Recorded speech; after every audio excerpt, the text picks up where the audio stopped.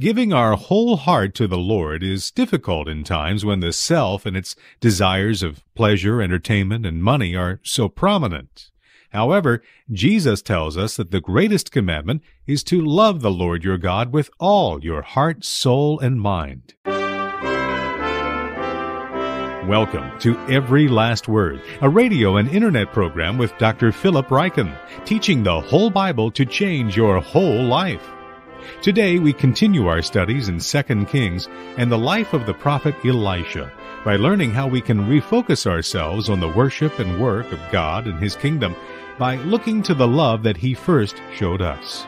Well, Phil, today we hear all about King Jehu. What can we learn from him about worship? Well, Mark, in our worship, it's important to worship the right God and to worship Him in the right way.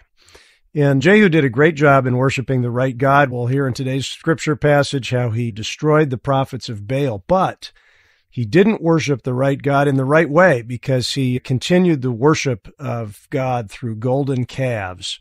And it's a reminder for us to only worship God in the biblical way. Well, in today's message, you remark that Jehu will have some unhappy words put on his gravestone by God. What do you think Jehu's fate ultimately was?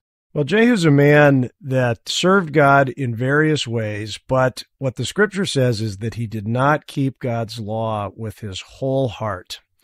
And uh, of course, like anybody else, Jehu's fate is in the Lord's hands. I suppose I don't know what his fate is, but I do know this that I haven't kept God's law with my whole heart either.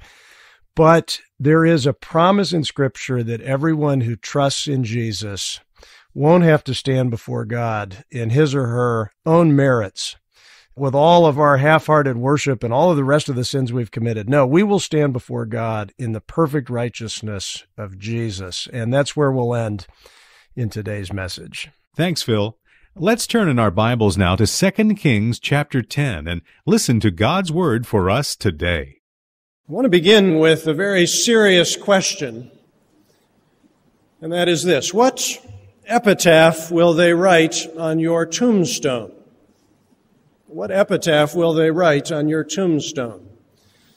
I've been doing some research about epitaphs this week. It seems as if the Romans almost invented the epitaph. One of the standard Roman epitaphs went like this I was, I am not, I care not. We contrast that very pagan and stoic attitude with these words, which come from the grave of Francis Appleby in Beddington in Surrey. I nothing am, I nothing have, I nothing care, I nothing crave, but that my Jesus I may see, and that he may be all to me. You see, what is written on a gravestone can say a great deal about where a person will spend all eternity. And so imagine then being given the opportunity to visit your own gravesite. Imagine walking up and down the rows of the cemetery looking for your name on one of those gravestones. Then imagine finding it. The first thing that you would look for surely would be the date of death. It would be hard to resist the urge to find out when you will die. But then the second thing you would look for would be the epitaph, for that short statement of the meaning of your whole life. And what do you suppose then that it would say? If your whole life could be reduced down to a single sentence chiseled into the stone, how would it read? Well, what we find in 2 Kings chapter 10 is a most unhappy epitaph. We find it in verse 31.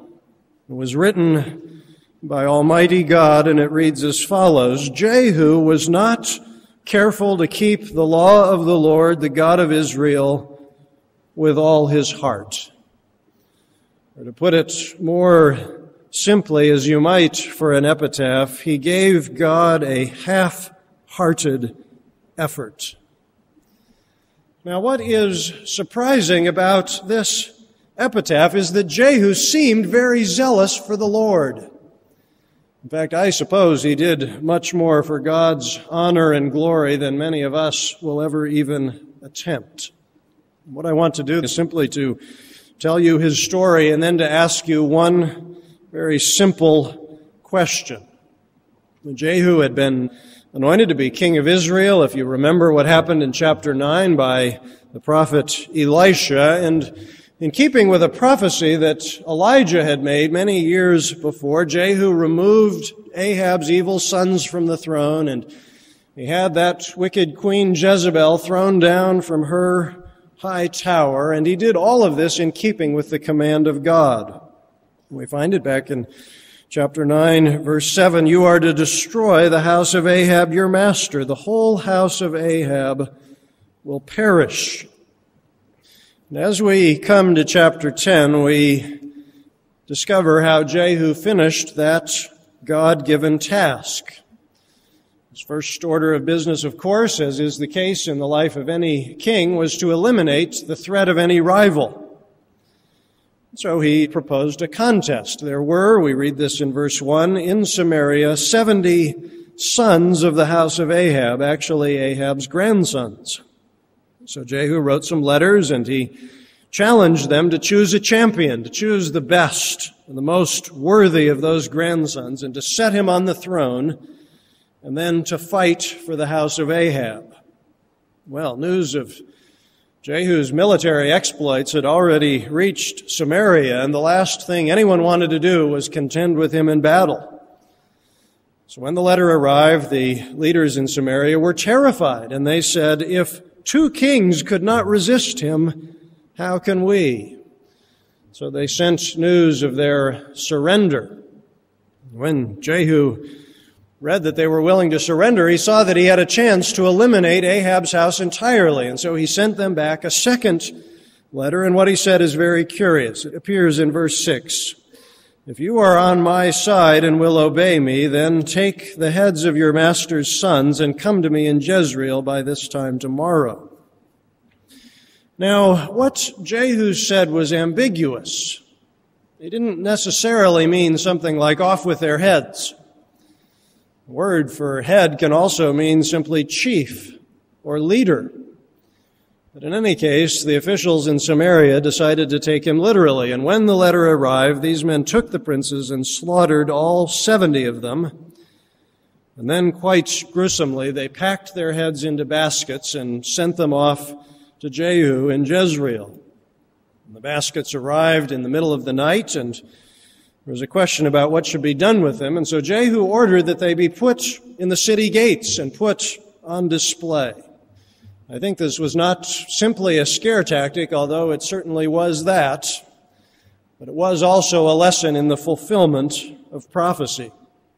For the next morning, when the people woke up, there were the heads, but where had they come from? Jehu went out to meet the people and he stood before them and he said, You are innocent. It was I who conspired against my master and killed him.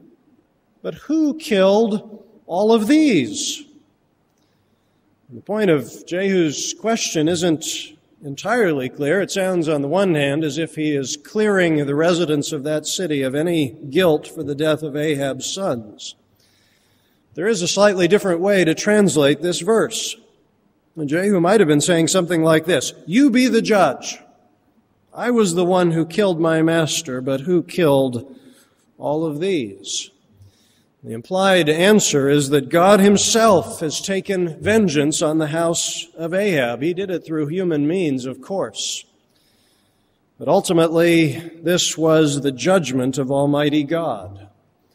That's why Jehu says what he says next. Know then that not a word the Lord has spoken against the house of Ahab will fail. The Lord has done you see. The Lord has done what he promised. Now, this was a bloody chapter in the history of God's people Israel. There are bound to be questions and even qualms and uncertainties we have about this passage. Certainly we can be thankful that the kingdom of Jesus Christ is not ruled by the sword, but by the Spirit. We can be thankful too that God has not given us power over life and death the way that he gave it to his king Jehu. At the same time, we must recognize that King Ahab received exactly what he deserved. He had set himself up as the sworn enemy of Almighty God. And therefore, he received, in keeping with God's law, that punishment which is visited upon the children for the sins of the fathers unto the third and fourth generations of those who hate him. Now, once Jehu had destroyed Ahab's household, he turned his attention to the prophets of Baal and destroyed his temple. Baal worship, as you know, perhaps, was very common in those days, so much so that not even Elijah had been able to get rid of it. Jehu was a very crafty king, and he started by pretending to be a Baal worshiper himself. This is what he said. He said, Ahab served Baal a little, this is verse 18, but Jehu will serve him much. Now summon all the prophets of Baal, all his ministers and priests. Make sure no one's missing because I am going to hold a great sacrifice for Baal. And anyone who fails to come will no longer live. But Jehu was acting deceptively in order to destroy the ministers of Baal. His invitation is rather ironic. He invites everyone to a sacrifice. Well, there will be a sacrifice, all right, but not the kind that these prophets expect. Jehu very carefully baited his trap. All the ministers of Baal came. No one stayed away. They crowded into the temple of Baal until it was full from one end to the other.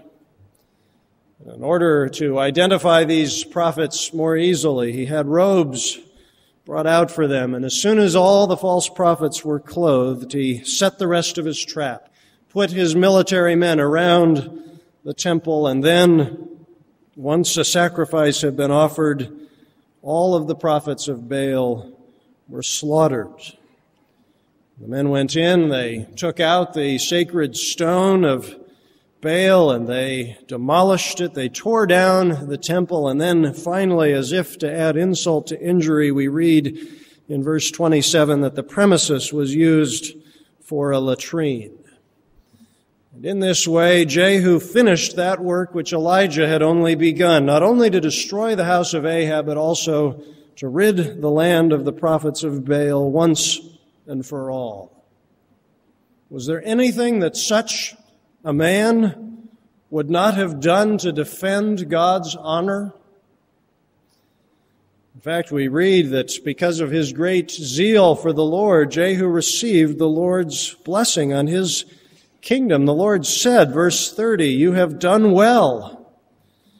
And for this reason, your descendants will sit on the throne of Israel to the fourth generation. And what the Hebrew literally says is that Jehu did what was in God's heart to do. You see, in some respects, Jehu was like David, a king after God's own heart. And yet, and yet there was this one thing which Jehu failed to do. Although he destroyed Baal worship in Israel, he did not turn away from the sins of Jeroboam the worship of the golden calves at Bethel and Dan. Now, by Jehu's day, the golden calves had almost become Israel's state religion.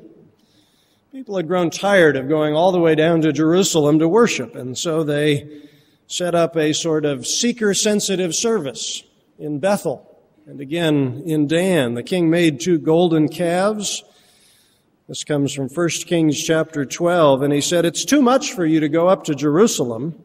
Here are your gods, O Israel, who brought you up out of Egypt. They set one up in Bethel and another up in Dan, and this thing became a sin.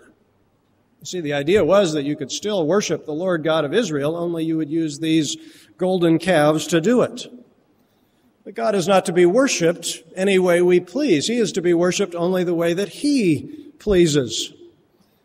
In this case, He had given His people very explicit instructions, particularly about not worshiping any idols or any graven images. You see, for all of his zeal for the Lord, Jehu never destroyed those high places, and therefore God gave him this unhappy epitaph.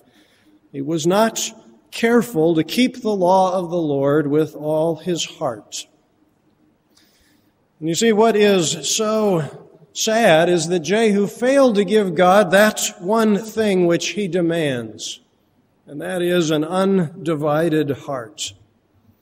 Every morning, every man and woman and child in Israel recited this creed Hear, O Israel, the Lord our God, the Lord is one. Love the Lord your God with all your heart. Whether he uttered this creed every morning or not, Jehu surely failed to live up to it. Yes, he destroyed God's enemies. He overthrew wicked tyrants. He opposed and defeated foreign religions.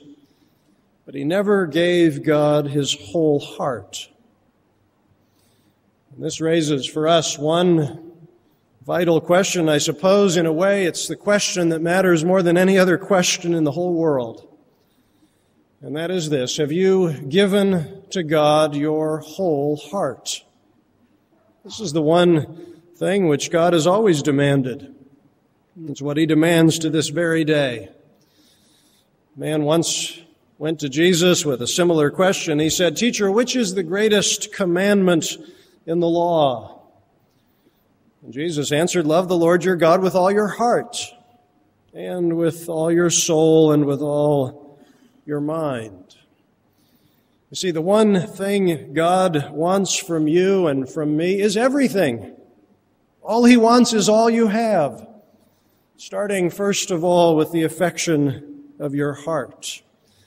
The words of Jesus thus raise for us that same question. Have you given the Lord your whole heart? Have you renounced every other love and affection? Have you confessed your sins and opened your heart up to the love of God which He has shown through Jesus Christ? The reason we need to ask ourselves these questions is because the church is full of half-hearted Christians. The apostle Paul warned about this in 2 Timothy chapter 3 beginning with verse 1. This is God's warning. Mark this. There will be terrible times in the last days. People will be lovers of themselves, lovers of money, boastful, proud, abusive, disobedient to their parents, ungrateful, unholy, without love, unforgiving, slanderous, without self-control, brutal, not lovers of the good, treacherous, rash, conceited, lovers of pleasure rather than lovers of God. Now, when the apostle Paul described these terrible times, he was not talking exclusively about people outside the church. No, he goes on in the very next verse to say that these men and women had a form of godliness. In other words, they looked like Christians. They knew a little theology. They had learned all of the right church vocabulary. They went to church. They were involved in a ministry, perhaps. Possibly they even read their Bibles and prayed every day. And yet they were not lovers of God. And notice what they love instead. Three loves are mentioned in these verses. The love of self, the love of money, and the love of pleasure.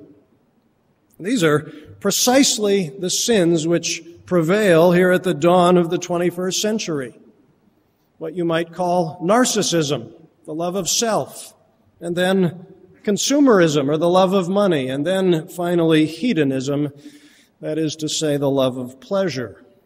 It would be hard to find three words which more accurately describe the spirit of our age. Love of self. That now seems to be the basic premise of American life. You need to take care of yourself. You need to look out for yourself. You need to love yourself. One way to trace the growing self-centeredness of modern culture is through the titles of popular magazines. Back in the 1950s, one of the popular magazines was Life. Well, eventually people started to get tired of life and people wanted to read about people.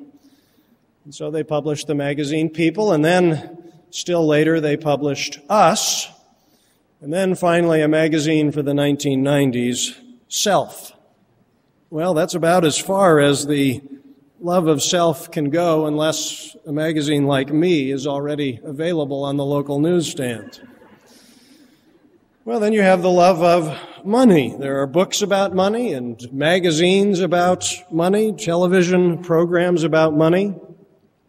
American culture mainly seems to be about the making and keeping and spending of money. Even helping people know what to do with their money makes money. If you really want to see the love of money in action, watch what happens when the lottery jackpot climbs over $100 million. And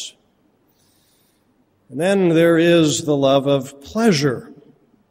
I wonder if this civilization is the first in human history to turn pleasure into a business. We don't just entertain ourselves, we have an entertainment industry.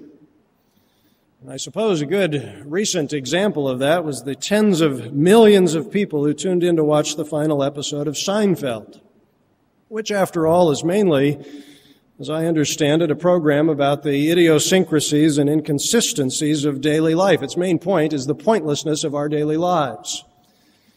And therefore, you have this spectacle of millions of people tuning in to find out how humorously meaningless their lives actually are. Well, the real problem is not this narcissistic, consumeristic, hedonistic culture. No, the real problem is that these three loves, self and money and pleasure, have stolen the hearts of God's people. Imagine for a moment what the church would look like if it loved itself, or if it loved money, or if it loved pleasure. I think it would look pretty much the way that the church looks at this very moment. People in love with themselves would not go to church primarily to meet God, but to meet their own needs. People in love with their money would be stingy with their tithes and offerings, especially when it is compared to their actual income. People in love with themselves would be more concerned about what they get out of religion rather than what they put into it. If these things are true of the church, not to mention our culture as I think they are, then we need to ask ourselves about the condition of our own hearts. You see, it brings us back to that question raised by Jehu's epitaph. Are you giving the Lord your whole heart? You see, if we are lovers of ourselves and lovers of money and of pleasure, then we must not be lovers of God. At best, what we are giving to Him is a half hearted effort. And you see, that is no way to establish a love relationship. God has made us to be passionately in love with Him. It takes much more than half a heart to maintain a love relationship. Imagine a man who wanted to marry a woman on the premise that he would give to her half of his heart. I'll be around half the time, honey. I'll provide for about 50% of your spiritual and physical and emotional needs. Hey, what I do with the other 50% of my time is my business, but look, I'm willing to spend half of the rest of my life with you. What more could a woman ask for? Well, what about the other half of the man's heart? You see, that's no way to establish a marriage, and it is no way to live the Christian life. God wants all of your love, not half of it. When it comes to loving God, it is all or nothing, as the Puritans used to say. You cannot serve God by halves. No, the only thing to be done is to offer God your whole heart. I think of the way that John Calvin did this. You know, Calvin's great prayer, I offer my heart to you, Lord, readily and sincerely. And really, that's the prayer that sinners offer when they come to Jesus Christ in the first place. Here is my heart, Lord, readily and sincerely. It is not just a prayer for the first day of the Christian life, it is a prayer for every day of the Christian life. It's the wholehearted prayer of every true lover of Christ. Lord, today I give you my heart all over again. Holding nothing back, I give you all of my affection, all of my desire, all of my heart. Now, perhaps you have discovered that such all encompassing, all consuming love does not arise naturally from the human heart. It doesn't come welling up of itself from within us. You know, love does not come from us at all. It comes from God. And love for God can only come in the first place from God. That is why so many great Christian hymns are prayers that God would fill us with His love. Prone to wander, Lord, I feel it. Prone to leave the God I love. Here's my heart. Oh, take and seal it seal it for thy courts above. Or this hymn, Lord, it is my chief complaint that my love is weak and faint. And yet I love thee and adore. Oh, for grace to love thee more. You see, if there is to be more love in our hearts for God, it will have to come from God. He is the source and the fountain of all love. And of course, this is why we must keep going back to the cross. Jesus died on the cross for our sins in order to show us and to give us the love of God. It was on the cross that God so loved the world that he gave his one and only Son. It was on the cross that God demonstrated his love for us in this that while we were still sinners, Christ died for us. And if our love for God is weak, we need to keep going back to the cross for more and for stronger love. I wanted to close this sermon with another epitaph. I spent the week looking for one and making phone calls to get other people to help me look for one. I wanted to find an epitaph which expressed some believers' wholehearted devotion to Jesus Christ. Yet I was unable to find one. I think the reason for that is our love for God is very weak. Like Jehu, the best we have to offer is a half-hearted effort. Who would ever claim to love God with his or her whole heart? So I want to propose for you another epitaph. It comes from Scripture and it's a suitable epitaph for any Christian. Someday you might want to have it put on your own gravestone. This is love, not that we loved God, but that He loved us and sent His Son to be the atoning sacrifice for our sins. Amen. And let us pray together. Our Father in heaven, we confess that our love for you is very weak. We need more of your love. We thank you that that love is available to us in Jesus Christ, who was crucified for our sins. We pray now that your Spirit would be at work in us to open our hearts to more of your love so that we might be more loving. We pray this in the name of Jesus Christ. Amen.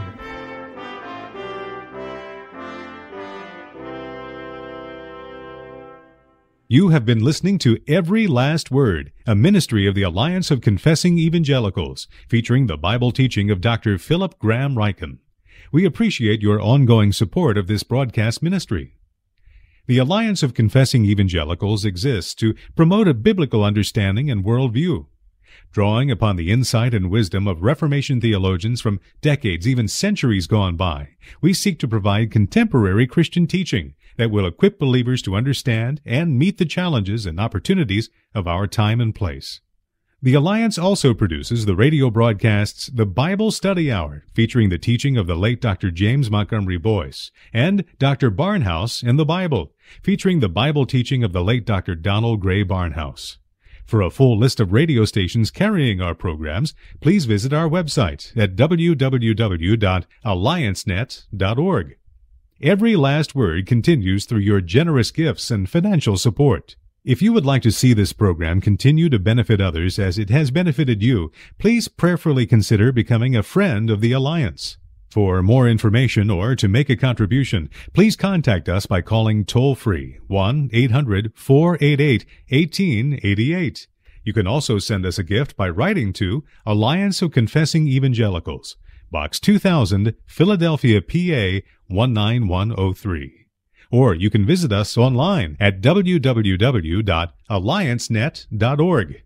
Be sure to ask for a free resource catalog featuring books, audio teachings, commentaries, booklets, videos, and a wealth of other materials from outstanding Reformed teachers and theologians.